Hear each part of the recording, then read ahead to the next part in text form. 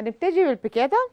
هستعمل نص كيلو صدور فراخ هقسم الصدر الفراخ رفيعة بانيه. هقسم الصدر اتنين بحيث يبقى حجمه كده اهو. okay؟ يبقى الصدر هتقسم على اتنين. صدر بانيه يعني رفيع مش صدور كاملة. خلاص؟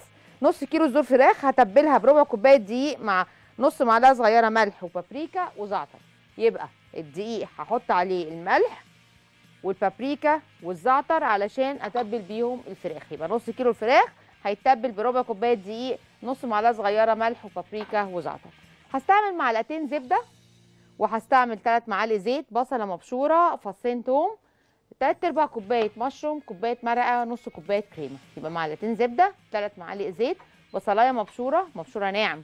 فصين توم تلات أرباع كوباية مشروم وكوباية مرقة أو مية لو ما عنديش مرقة ونص كوباية كريمة. أول بقى حاجة هعمل إيه؟ هحط الملح وأدي الزعتر والبابريكا على الدقيق. علشان أعمل بيه الفراخ. في ناس بتحب البيكاتا بالليمون دي مختلفة. دي بتحط معاها عصير ليمون. إحنا النهارده هنعملها البيكاتا العادية اللي هي بالمشروم عادي من غير ليمون. بس أنا عايزه أقول لكم حاجة ما تعملوش طبقه سميكه من الدقيق على الفراخ علشان ما, ما تتعملش قشره عليها أنا بهزها اخلصها من الدقيق الزياده علشان تطلع حلوة معايا مدام ملك أيوه السلام أيوه عليكم. مدام ملك أيوه أيوة السلام حبيبتي،. ازيك؟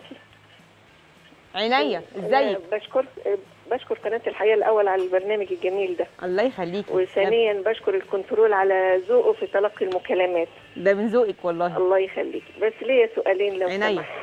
السؤال الأولاني آه. آه إيه هي اللحم المقدد اللي بنشوفها في البرامج الأجنبية؟ آه، okay. يعمل لحم مقدد إيه هو اللحم آه المقدد اللي هو البيكن. ماشي؟ okay هقولهولك وإيه تاني؟ والسؤال الثاني إيه الجبنة الكويسة اللي تسيح مثلا في البشاميل أو على أحطها آه، على وش الحاجات. بصي الجبنة أنا أنا بحط موتزاريلا نوع معين من الموتزاريلا بستعمله. آه، ممكن الكنترول يقولهولك لكن صعب إن أنا أقولك النوع. ما تعرفوش؟ طيب ماشي. آه، ممكن ممكن تقابليني بقى على الفيسبوك على الصفحة بتاعتي على الفيسبوك بعد الحلقة أو تكلمينا بعد الحلقة الكنترول. هقول لهم إيه نوع ال- الجبنة الكويس اللي بيسيح بيبقى زي الزبدة كده معانا. أنا دلوقتي هحمر الفراخ.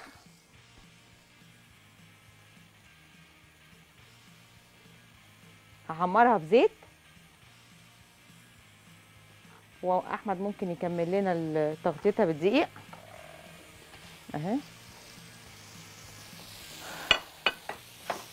علشان ما تتلسعش الفراخ. وأنا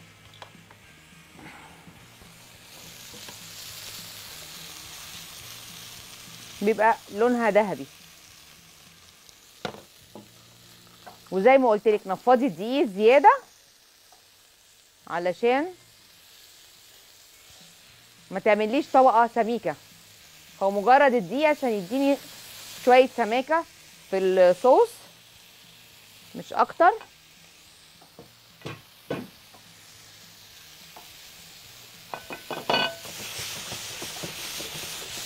أنا مش عايزة الطاسة تتحرق علشان أنا هستعمل الطاسة دي بعد كده في الصوص بتاع البيكاتا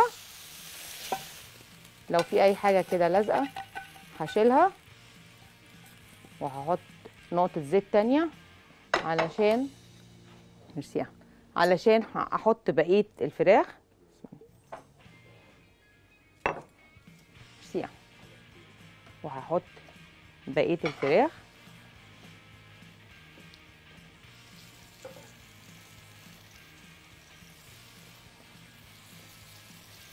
كده أهو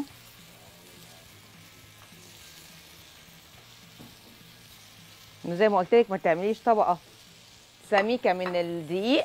يا منى. منى؟ حاولي تكلمينا تاني معلش.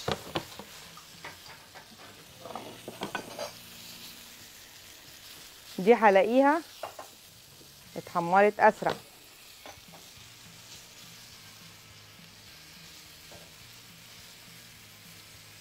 البيكاتا ممكن تنقعي الفراخ بعصير ليمون كمان قبلها لو انت عايزاها مزة شوية. بس أنا بعمل لكم ال base اللي هي الأساسية خالص. ابصوا يبقى لونها ذهبي من ناحيتين. الفراخ لما تبقى متقطعة رفيع الصدور ما بتاخدش وقت كتير خصوصا لو اتحطت في الفريزر. لأن الفريزر بيكسر الأنسجة بتاعة اللحمة والفراخ فتلاقيها تستوي بسرعة عن ال fresh خالص. يعني انت تجيبي الحاجة من عند الفرارجي مثلا وتقط... وتقسميها نص كيلو أو حسب احتياجك.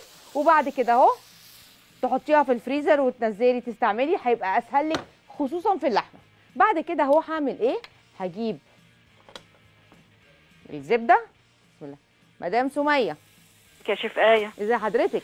تسلم إيدك يا شيف آية. وإيديك يا حبيبة قلبي. آه، شيف آية كنت الأسبوع اللي فات سألت عن عندي برتقان كتير وعايزة أحتفظ بالعصير بتاعه بس الحلقة خلصت و آه هقول لك من عينيا الاثنين هقول لك النهارده تحتفظي بالعصير بطريقة سهلة يا شيف جدا. قبل ما تخلص الحلقة. إن شاء الله من عينيا الاثنين متشكرة وتسلم إيدك يا شيف. وإيديك يا حبيبة قلبي. أنا بس كنت بدور على الزيت عشان أحط معلقة زيت مع الزبدة عشان ما تتحرقش. وهحط البصلة بتاعتي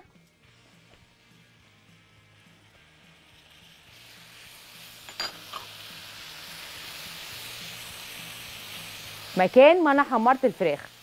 عشان أنا ال- الجليز اللي فضل كده في الطاسة ده أنا عايزاه. هو اللي هيديني طعم حلو قوي للصوص. في ناس برضو بتعمل البيكاتا من غير بصل. كده اهو. هشوحهم وهحط معاهم المشروم.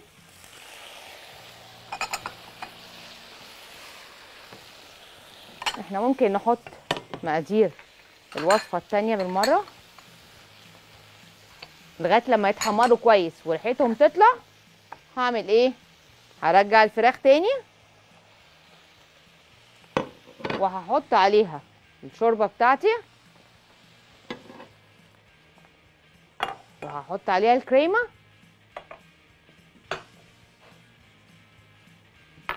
وهقلبها طبعا عشان تتغطى بيهم واغطيها شوية واخليها تغلي شوية صغيرين بحيث تكمل سواها.